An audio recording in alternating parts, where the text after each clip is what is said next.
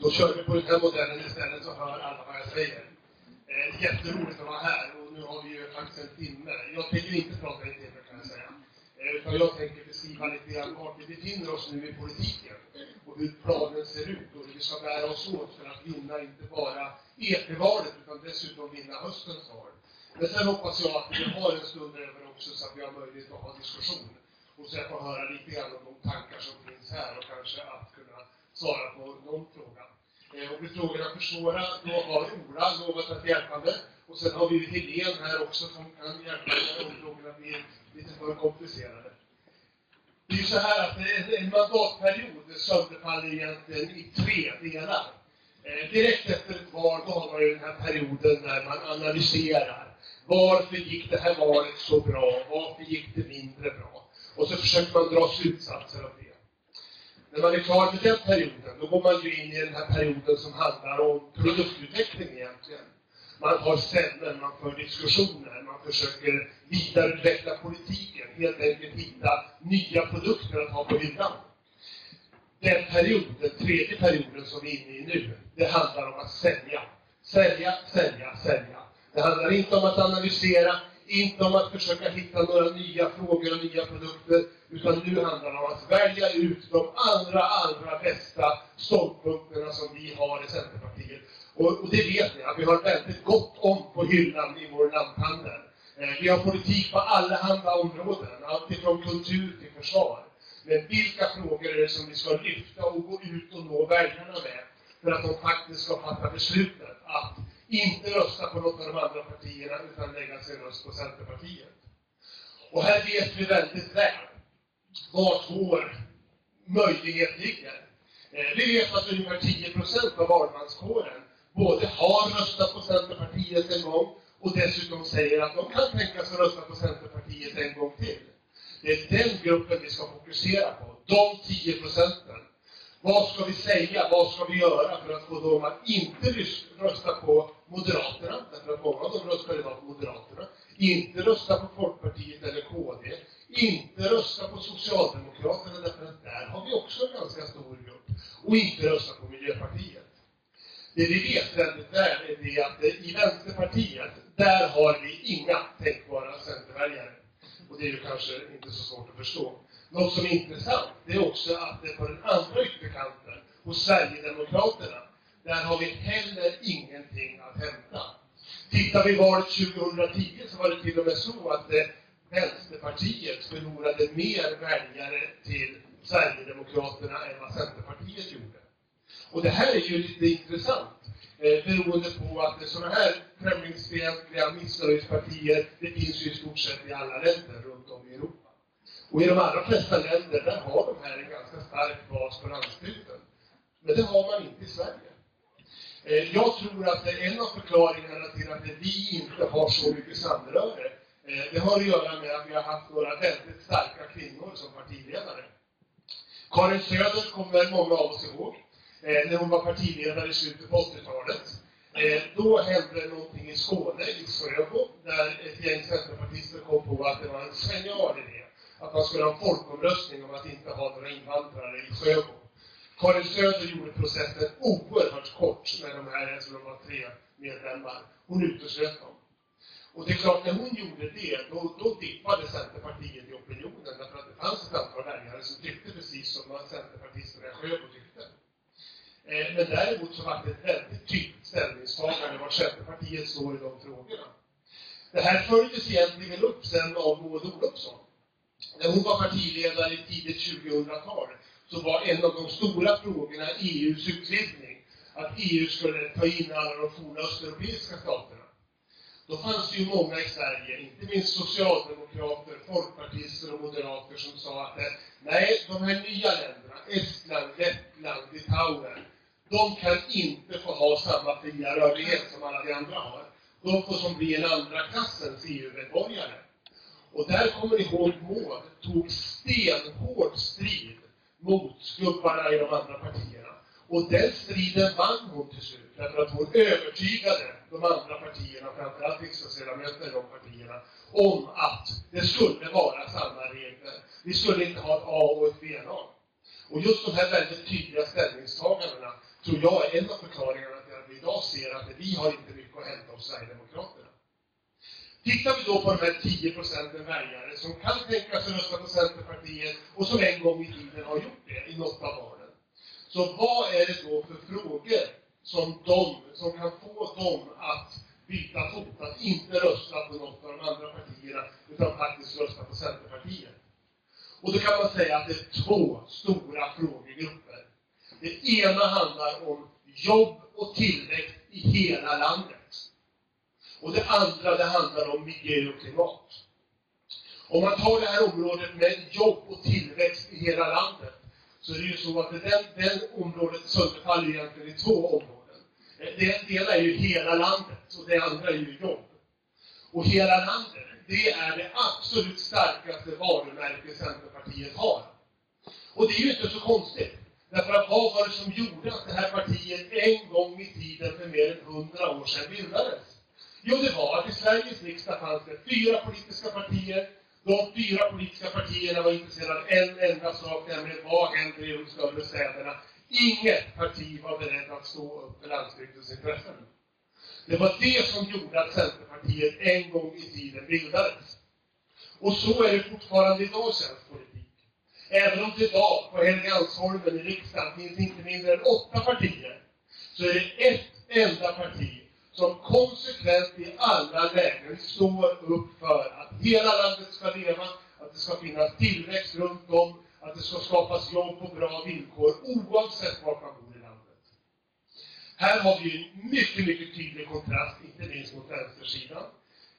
Men om man tittar på allianssidan så har vi ju fått draghjälp eh, under våren härifrån framförallt finansminister Anders Borg Eh, som har varit ute och väldigt tydligt förklarat hur Moderaterna ser på jordbrukspolitiken.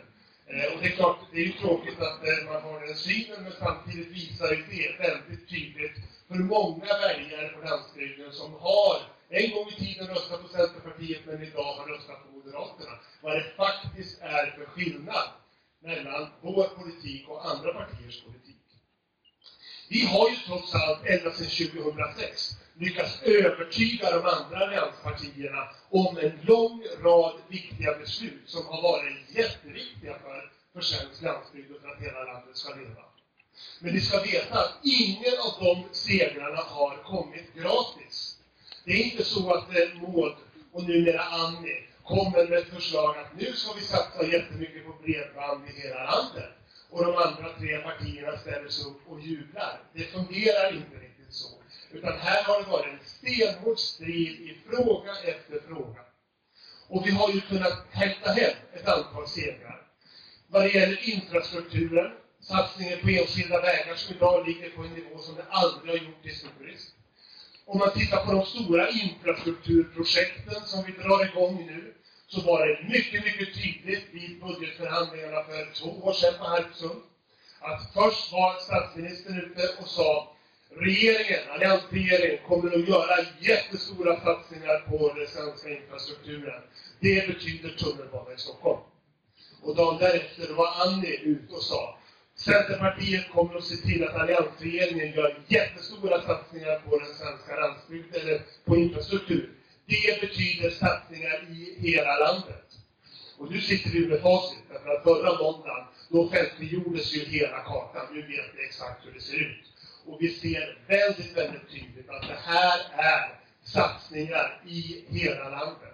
Men ingen ska tro att kartan över infrastruktursatsningar på mer än 500 miljarder kronor hade sett ut på det viset om det inte hade varit för att vi har en oerhört envis kvinna som partiledare som i varje stund är beredd att slåss stenhårt för den svenska landsbygden. Vi har också fått till en stor satsning vad gäller landsbygdsprogrammet. Det här är ju en seger som heter duga. Också vad vi ser vad gäller servicegarantin, där vi femfaldigar satsningen från staten för att upprätthålla en bra kommersiell service i hela landet. Det här är jätteviktiga segrar för Centerpartiet och som definitivt inte skulle ha kommit till stånd om det inte var för att vi hade en stark röst i regeringsförhandlingarna. Det här blir ju väldigt, väldigt tydligt dessutom när man ser på vad alternativet är. För vänstersidan, de tre partierna, det är ju inte många frågor de är överens om. Men vissa saker är man väldigt, väldigt överens om. Man är till exempel överens om att vi ska införa en lastbilsskatt i Sverige. Alltså en skatt per kilometer som lastbilen rullar. Man behöver ju inte vara Einstein för att räkna ut vilka konsekvenser det kommer att få. Hemma i Ljusdal finns det en väldigt fin pepparkaksfabrik. Bergmans pepparkakor tillverkar otroligt goda pepparkakor. Mer än tio anställda, gått från i princip 0 till 10 på bara några få år. De lever ju inte på att tillverka pepparkakor för de som bor i Ljusdal och Färila och Järvsö. Nej, de lever på att tillverka pepparkakor för Mälardalen. Om man då inför en lastbilsskatt, det vill säga skatt på antal kilometer som de här pepparkaksburkarna ska rulla för att komma till slutkunden. Det är klart, det kommer att innebära mycket stora svårigheter för den som har en produktion som ligger utanför Mälardalen. En annan sak som man diskuterar på vänstersidan, det handlar om kilometerskatt eller att höja bränslepriserna. Det vill ju inte Socialdemokraterna prata om. Men det är ju Miljöpartiet oerhört tydliga på hur man ser på den saken. Alltså det här valet vi står inför i höst, där kommer det, en av de avgörande frågorna där, det kommer faktiskt att vara, ska hela landet leva? Ska vi ha en regering som styr mot det med ett starkt Centerparti? Eller ska vi ha ett vänsteralternativ som inte alls har samma känsla? Det är det och ingenting mindre som det här valet handlar om. Och där ska vi som centerpartister inte försätta en enda chans att berätta det för väljare. Därför att vi vet också från mätningar, vi gör en hel del egna opinionsundersökningar, och vi vet att nästan 50 procent av svenska folket sammanknippar Centerpartiet med det parti som tydligast står upp för den svenska landsbygden. Så det här ska vi upprepa gång på gång på gång. Och då vet ni hur tjatigt det blir när man säger samma sak gång på gång på gång. Men det är först när man har sagt samma sak tusen gånger, det är då väljarna börjar få det klart för sig. När de står där på valdagen och ska välja bland sedlarna. Ja, men för mig är det viktigt att hela Sverige ska leva, att koncentrationen inte blir i storstadsområdena. Och då ska det bara säga pling hos väljarna, och då vet de vem av de här åtta partierna är det man ska rösta på i det läget. Den andra delen av det här budskapet, det handlar ju då om att eh, det är inte bara hela landet, utan det är faktiskt jobb i hela landet. Och här har vi ju också från Centerpartiets sida lyckats med en lång rad väldigt viktiga beslut som vi har fått igenom i alliansregeringen. Ett av de viktigaste, Rolf här, jobbskatteavdraget som du kämpade för och diskuterade. Hur viktigt det var att se till att skattesänkningar faktiskt gick till de som hade de lägsta inkomsterna och inte som det var i valet 2002, att man skulle göra marginalskattesänkningar för de som hade de högsta inkomsterna. Jobbskatteavdraget, de fem jobbskatteavdragen som vi har gjort, är en av de viktigaste skälen till att vi idag har 250 000 fler människor i arbete. Ytterligare andra saker som verkligen har haft Centerpartiets signum, det är ju RUT-avdraget. RUT-avdraget för hushållsnära tjänster. När vi drev det som hårdast, eller faktiskt Centerkvinnorna drev det som hårdast, då var det här förlöjligat av Socialdemokraterna. Och de sa, ja det är ett pigavdrag som ni vill ha. Ni vill att överklassen ska få dra av för de pigor de anställer. Och idag ser vi vilken otrolig framgång det här har blivit. Inte bara det att tusentals människor har fått arbete. Och då är det så här mina vänner, att de som får jobb i de här företagen, det är inte sådana som jag. Eh, gubbar, 50 plus med grått hår. Utan vilka är det? Jo, det är framförallt arbetslösa kvinnor, ensamstående mammor, det är ungdomar, det är de som har fått jobben. Och dessutom då vilken skillnad det här har blivit för de som faktiskt använder de här tjänsterna. Och det som är roligt där är ju det att vi ser ju att det är inte överklassen har haft det här sedan urminnes tider.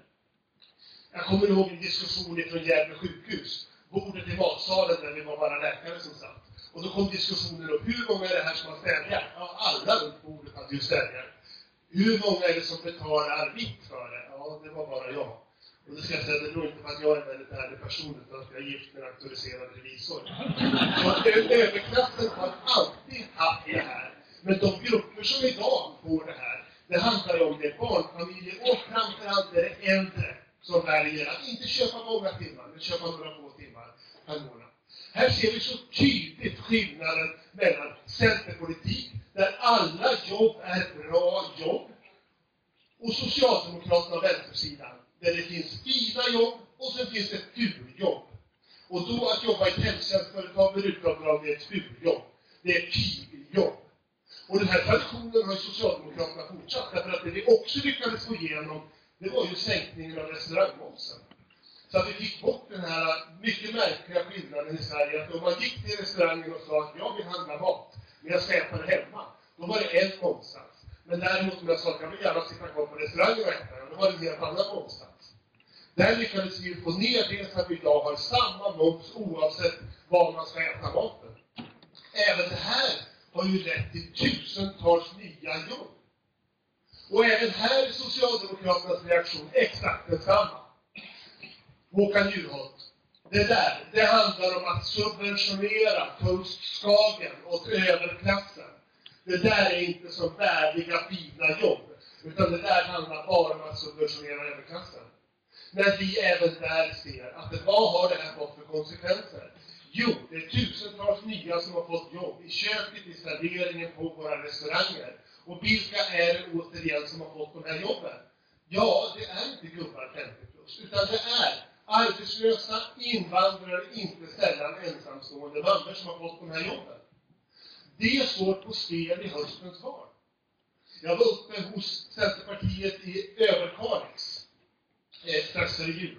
Eh, Centerpartiet, Överkalix är en väldigt liten kommun, 3500 invånare. Men de är fruktansvärt kaxiga, centerpartisterna där. Kaxigare än något, ja, det kanske finns fler ställen också. Kristina Hjelm är vår ledare. Och det här är alltså en kommun som sossarna har styrt sedan allmänna rösträtten infördes. Nu har Centern under Kristinas ledning samlat ihop alla partier utom Socialdemokraterna. Alltså alla har från vänstern till Moderaterna att under hennes vida kjolar bestämma sig för att nu ska det bli nytänkande i Överkalix kommun. Nu ska vi sopa rent i stadshuset, det behövs något nytt i Överkalix. Och det där tyckte jag lät så spännande så jag var tvungen att åka dit och hälsa på. Och i alla fall då så, det var en jätterolig dag vi hade, men mitt på dagen så skulle vi äta lunch. Och då bestämde vi oss för att vi skulle gå på, det finns inte så mycket att välja på i Överkalix, men Vippabackens vägkrog. Vippabackens vägkrog, det är alltså den vägkrog som finns mellan kusten och ända upp till Malmfälten. Väldigt spännande ställe, så är det någon gång som ni åker den vägen så stanna på Vippabacken. Den heter Vippabacken beroende på att Samuel Vippa, han avrättades där 1835. Därför att han hade stulit mat. Hans barn svalt och han stal mat. Och han var den sista som avrättades på Kallbacken, därav namnet Vippabacken. I alla fall när vi sitter där och äter väldigt god mat. Då kommer Sara fram, Sara Karlsson. Det är hon, hennes syster och pappa som driver restaurangen. Och hon berättar, ja, nu måste jag få prata lite mer centerpartister, säger hon. Därför att nu ska ni få höra hur det är i verkligheten. Förut var det så här, att det var vi tre som jobbade här, pappa, jag och syrran. Vi var, jobbade jämt. Vi var oroliga för att pappa höll på att jobba ihjäl sig fullkomligt. Efter att vi har fått halveringen av restaurangmomsen och dessutom fått nedsättningen av arbetsgivaravgiften för unga, så har vi idag kunnat anställa ytterligare två stycken arbetslösa, jätteduktiga ungdomar härifrån Överkalix. Vi har fått rimliga arbetsvillkor, vi kan erbjuda bättre service och dessutom behöver vi inte längre vara oroliga att pappa ska jobba ihjäl sig. Det är det som står på spel i höstens val. Det handlar inte bara om några procentsiffror hit eller dit, eller något mandat här och där. Utan det är människors verklighet. Därför att det här har Socialdemokraterna och Vänstern gått till val på. Det är det de vill göra. De vill fördubbla restaurangmomsen och de vill fördubbla, och nu lyckas de i riksdagen häromdagen dessutom stoppa, vi vill ytterligare dra ner arbetsgivaravgiften för unga, de riktigt unga. Det är det man går till val på. Det här är alltså skattehöjningar på ofattbara 20 miljarder. Och man riktar det konsekvent mot arbetslösa och mot unga. I restaurangbranschen, det är där väldigt många ungdomar finns anställda, där pratar man om dubbelstöten. Har, Ola, har du visat min film? Ja, ja, Ja! Och då har ni sett hur hårt det här också kommer att slå på, på byggbranschen, där det också är en dubbelstöt mot ungdomar. Det är det här som vi ska diskutera. Huruvida det finns fina jobb och fula jobb. Och huruvida Socialdemokraterna tror att de skulle kunna få ner arbetslösheten till Europas lägsta nivå, men samtidigt pekar ut arbete efter arbete som att det här är inte riktigt fint. Måttet frågades ju när de skickade ut sitt ungdomsförbund som sa att vi skulle nu börja bojkotta hamburgerrestauranger. Bojkott, laga hamburgarna hemma själv. Och, och det, det tycker jag man kan göra, laga hamburgare hemma själv, för de blir fantastiskt goda. Men däremot som inställningen, därför att ungdomar som jobbar på hamburgerrestauranger, de har alldeles för dåliga villkor. Ja, båda mina döttrar har jobbat på hamburgerrestauranger och det var fantastiskt. De fick jobba väldigt hårt, men de lärde sig jobba. Det här är första jobbet för väldigt många ungdomar.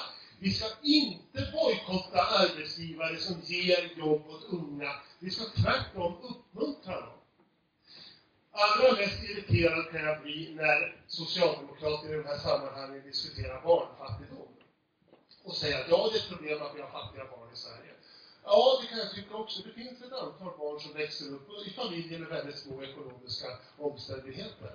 Men sen hur de då i nästa mening är beredda att föreslå åtgärder som konsekvent kommer att se till att det blir fler ensamstående mammor, fler föräldrar med invandrarbakgrund som blir arbetslösa. Det här är jätteviktigt att vi pratar om i valrörelsen. Därför att vi är det absolut tydligaste partiet på att det ska vi se till att det blir fler jobb i Sverige, vilket är oerhört viktigt. Då handlar det om att se till att det är bra villkor för de som skapar jobben. Och vilka är det som skapar jobben? Ja, det är inte kommun, det är inte landsting, det är inte ens vi riksdagspolitiker eller storföretagen. Är de små företagen som skapar jobben. Fyra av fem nya jobb i Sverige kommer hos småföretag. Och det här ska vi berätta, kära vänner. Därför att det här är en oerhört viktig fråga för Centerpartiet. Se till att man har bra villkor för jobbskapare, för det är så vi kan få ner arbetslösheten. Nästa stora område där det också är viktigt att vi berättar tydligt, det handlar ju förstås om miljö och klimat. Och även här är ju de ideologiska rötterna jättestarka hos oss. Det här har ju funnits med i det här partiet sedan decennier tillbaka. Vi, vi var det parti, Hedlund var ju den partiledare som först skrev under en miljömotion i riksdagen på 60-talet. Men det, man kan ju följa det här ännu längre tillbaka. Därför att de som bildade det här partiet tidigt 1900-tal, det var landsbygdens folk. Och vad hade de fått med sig i modersmjölken? Jo, att jorden som vi har ärvt av våra föräldrar, den ska vi överlämna i ett bättre skick till våra barn än vad det var när vi själva fick ta emot den. Och det är det som är den ideologiska roten i Centerpartiet. Det är det som gör att vi fullkomligt brinner för de här frågorna. Och här kan vi också inhysta en av de riktigt stora framgångarna under de senaste åtta åren. Och det är ju omställningen av det svenska det är många av oss som gick med i, i Centerrörelsen under 70-talet när vi brann för att kärnkraften skulle bort ur energisystemet, att det inte var framtidens energikälla. Idag har vi ju ett helt annat motiv för det här. Och det är ju, vi tycker ju fortfarande att kärnkraften är ett stort bekymmer. Men sen ser vi ju hur vi måste styra bort ifrån de fossila bränslena. Här lyckades ju Maud med en helt suverän överenskommelse, energiöverenskommelsen under förra mandatperioden. Och det bygger på tre ben. Det första benet det handlar ju om att vi ska ha rejäla satsningar på förnyelsebar energi. Och det har ju lyckats över hövan. Mer än 50 procent av det svenska energibehovet tillfredsställs idag med förnyelsebar energi. Vindkraften är ju det allra, allra tydligaste exemplet. 2006 stod vindkraften för en terawattimme. En enda terawattimme. Idag står vindkraften för 10 terawattimmar. När jag var på Gotland, på deras distriktsstämma för några veckor sedan, träffade jag Lars Thomsson, centerpartist på Gotland. Han jobbar som nationell vindkraftssamordnare. Han sa att om vi bara idag tittar på vad är det för någonting som i princip är beslutat och håller på att byggas, så kommer vi 2018 att ha 18 terawattimmar bara vindkraft. Satsningarna på solenergi kommer ju igång nu när vi får möjligheten till skatteavdrag för att lägga solpaneler på våra tak. Förnyelsebar energi är det som växer absolut snabbast, ett av centerbenen. Det andra centerbenet i överenskommelsen, det var ju då stora satsningar på energieffektiviseringar. Därför att den allra bästa kilowattimmen är den som aldrig någonsin används. Även där är vi oerhört framgångsrika i Sverige. Och ett kvitto på det är när Barack Obama kom till Stockholm här i september och tillbringade 24 timmar i Sverige.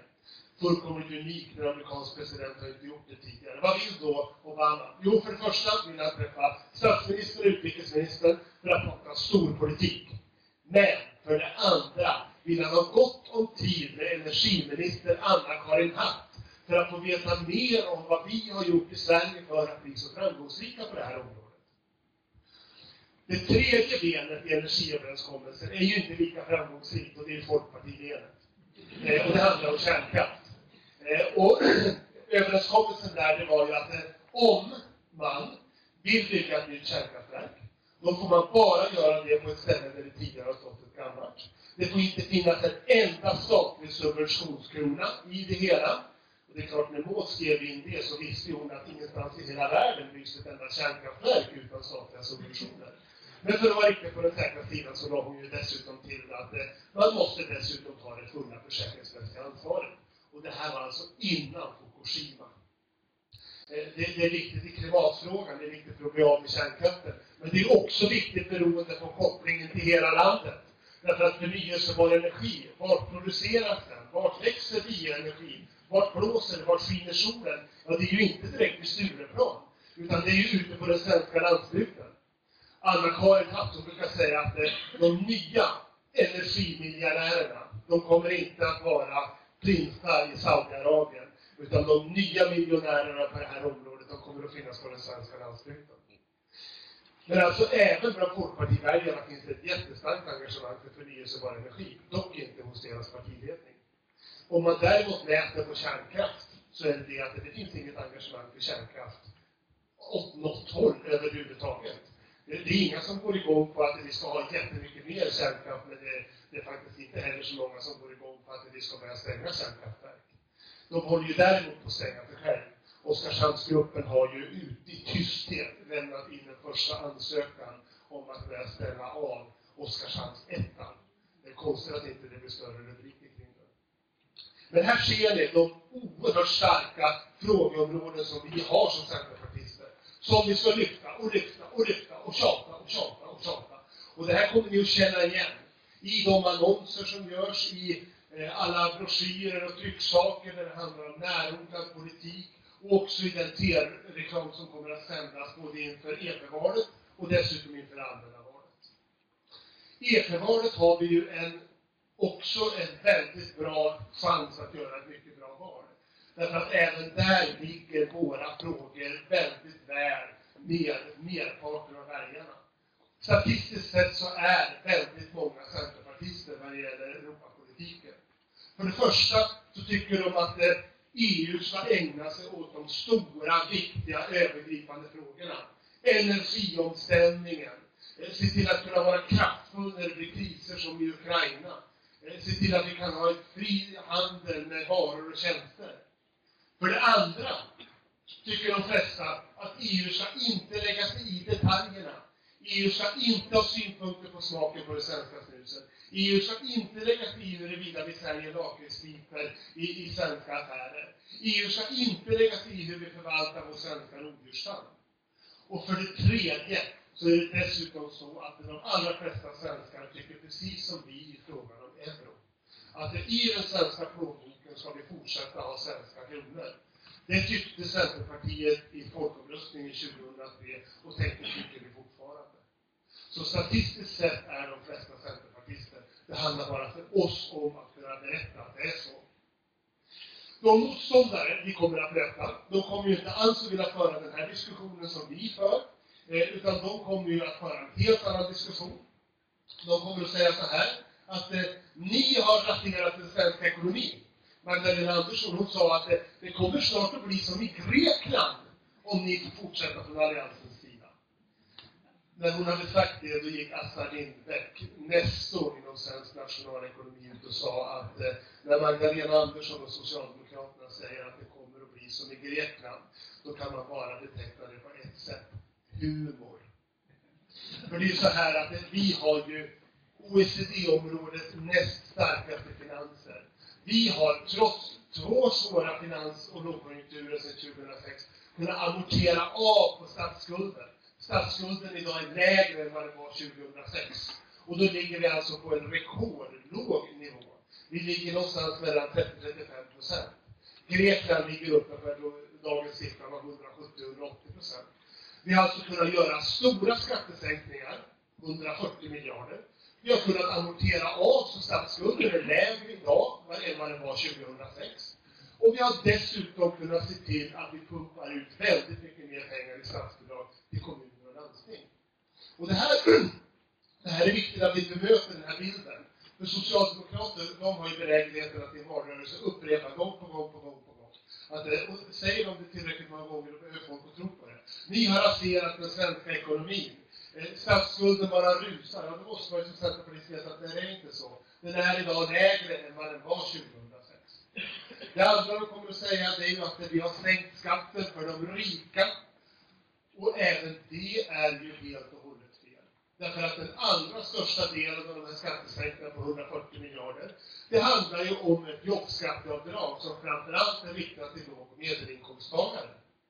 Och jobbskatteavdraget, det är, som jag sa tidigare, en av de viktigaste anledningarna till att vi idag har 250 000 fler människor som varje dag går till jobbet.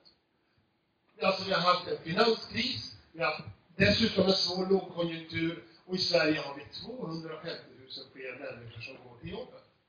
Och det här är ju förklaringen till att kommuner och landsting idag har intäkter som man inte tidigare har haft.